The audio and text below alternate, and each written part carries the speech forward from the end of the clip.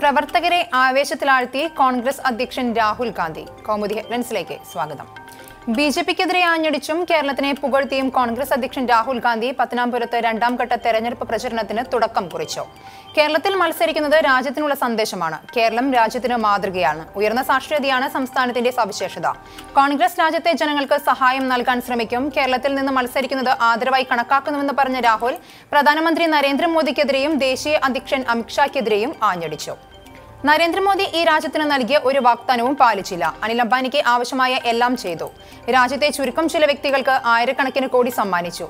India ഭരിക്കേണ്ടത് ഒരു വ്യക്തിയോ ഒരു ആശയമോ അല്ല. ഇന്ത്യ ഒറ്റക്കെട്ട് എന്ന സന്ദേശം നൽകാനാണ് കോൺഗ്രസിന്റെ ലക്ഷ്യം.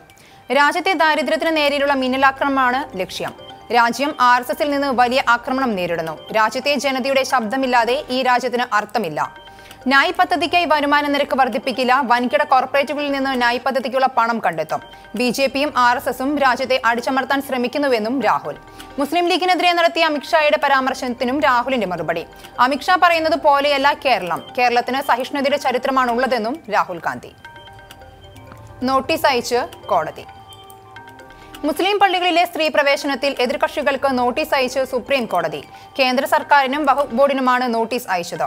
ശബരിമല വിധിയുള്ളതുകൊണ്ടാണ് വിധിയുള്ളത് കൊണ്ടാണ് കേസ് പരിഗണിക്കുന്നതെന്ന് കോടതി. കോടതി പരിഗണിക്കുന്നത് മുസ്ലിം പള്ളികളിൽ വനിതകൾക്കും ആരാധനാ സ്വാതന്ത്ര്യം അനുവദിക്കണമെന്നാവശ്യപ്പെട്ടുള്ള പൊതുതാൽപര്യ ഹർജി. സ്ത്രീകളെ പള്ളിയിൽ പ്രവേശിപ്പിക്കരുതെന്ന് നിയമ പ്രവേശി പ്രവേശിപ്പിക്കാത്തത് നിയമവിരുദ്ധവും ഭരണഘടനാ വിരുദ്ധവും എന്ന് ഹർജിയിൽ പരാമർശം. സ്ത്രീ സ്ത്രീകളെ പള്ളികളിൽ പ്രവേശിപ്പിക്കരുത് എന്ന് ഖുറാനിൽ പറയുന്നില്ല. പ്രവേശന വിലക്ക് മൗലിക അവകാശങ്ങളുടെ ലംഘനമെന്നും ഹർജിയിൽ ചൂണ്ടിക്കാട്ടുന്നു. പ്രചാരണം കൊടിപ്പിച്ച് നേതാക്കൾ. തെരഞ്ഞെടുപ്പ് പ്രചാരണം അവസാന ലാപ്പിലെത്തി നിൽക്കെ സംസ്ഥാനത്ത് പ്രചാരണം കൊഴുപ്പിക്കാൻ ദേശീയ നേതാക്കൾ. കോൺഗ്രസ് അധ്യക്ഷൻ രാഹുൽ ഗാന്ധിക്ക് പുറമെ ബി ദേശീയ അധ്യക്ഷൻ അമിത്ഷായും ഇന്ന് കേരളത്തിൽ എത്തും. വൈകിട്ട് നാലിന് നെടുമ്പാശ്ശേരിയിൽ എത്തുന്ന അമിത്ഷാ അങ്കമാലിയിലും തൃശൂരിലും രണ്ട് പരിപാടികളിൽ പങ്കെടുക്കും. തൃശൂരിലെ എൻ ഡി എ സ്ഥാനാർത്ഥി സുരേഷ് ഗോപിയുടെ തെരഞ്ഞെടുപ്പ് പ്രചരണത്തിന്റെ ഭാഗമായി തേക്കിൻകാട് മൈതാനിയിൽ പ്രവർത്തകരെ അഭിസംബോധന ചെയ്യും. ആറരയ്ക്ക് അങ്കമാലി അത്താണിയിൽ ചാലക്കുടിയിലെ സ്ഥാനാർത്ഥി എ എൻ രാധാകൃഷ്ണന്റെ പ്രചരണ സമ്മേളനങ്ങളിലും പങ്കെടുക്കും. ഇന്നലെ പ്രതിരോധ മന്ത്രി നിർമ്മലാ സീതാരാമനും കേരളത്തിൽ തെരഞ്ഞെടുപ്പ് പ്രചരണത്തിന് എത്തിയിരുന്നു.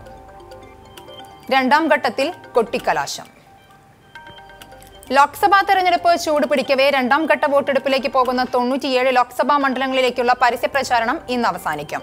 ഉത്തരേന്ത്യയിലെ നാൽപ്പത്തിമൂന്ന് സീറ്റുകളിലും ദക്ഷിണേന്ത്യയിലെ അൻപത്തിനാല് സീറ്റുകളിലും വ്യാഴാഴ്ച വോട്ടെടുപ്പ് നടക്കും. തുടർച്ചയായി പെരുമാറ്റച്ചട്ട ലംഘനങ്ങളുടെ പശ്ചാത്തലത്തിൽ പ്രചാരണത്തിന് നിരീക്ഷണം കർശനമാക്കി തെരഞ്ഞെടുപ്പ് കമ്മീഷൻ.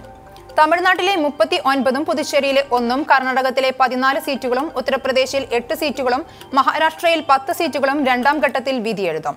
ബീഹാറിലും അസമിലും ഒഡീഷയിലും അഞ്ച് വീതവും പശ്ചിമ ബംഗാളിലെ മൂന്നിടത്തും പ്രചാരണം ഇന്ന് അവസാനിക്കും.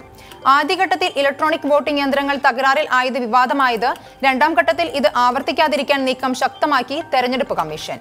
പ്രധാനമന്ത്രി നരേന്ദ്രമോദി കൊട്ടിക്കലാശ ദിവസമുള്ളത് ഛത്തീസ്ഗഡിൽ. ഒഡീഷയിലെയും ഛത്തീസ്ഗഡിലെയും തെരഞ്ഞെടുപ്പ് റാലികളിൽ മോദി പങ്കെടുക്കും. രാഹുൽ ഗാന്ധിയുടെ അഭാവത്തിൽ തെരഞ്ഞെടുപ്പ് കൊടിപ്പിച്ച് മറ്റു നേതാക്കൾ. പെരുമാറ്റച്ചട്ട ലംഘനത്തിലെ വിലക്കിനെ തുടർന്ന് കൊട്ടിക്കലാശങ്ങളിൽ പങ്കെടുക്കാൻ കഴിയാതെ ഉത്തർപ്രദേശ് മുഖ്യമന്ത്രി യോഗി ആദിത്യനാഥും ബി നേതാവ് അധ്യക്ഷ മായാവതിയും. മഴ വരും. കേരളത്തിൽ കനത്ത മൺസൂൺ മഴ ലഭിക്കുമെന്ന് കേന്ദ്ര ഭൗമ മന്ത്രാലയം. കേരളത്തിൽ കഴിഞ്ഞ വർഷത്തെ പോലെ പ്രളയത്തിന് സാധ്യതയുണ്ടോ എന്ന് ഇപ്പോൾ പറയാനാകില്ല. ഏപ്രിൽ മാസത്തിൽ സംസ്ഥാനത്ത് താപനില ഉയർന്നു നിൽക്കും. ഈ മാസം അവസാനത്തോടെ സംസ്ഥാനത്തിന് മൺസൂൺ മഴ ലഭിക്കുമെന്നും മന്ത്രാലയം.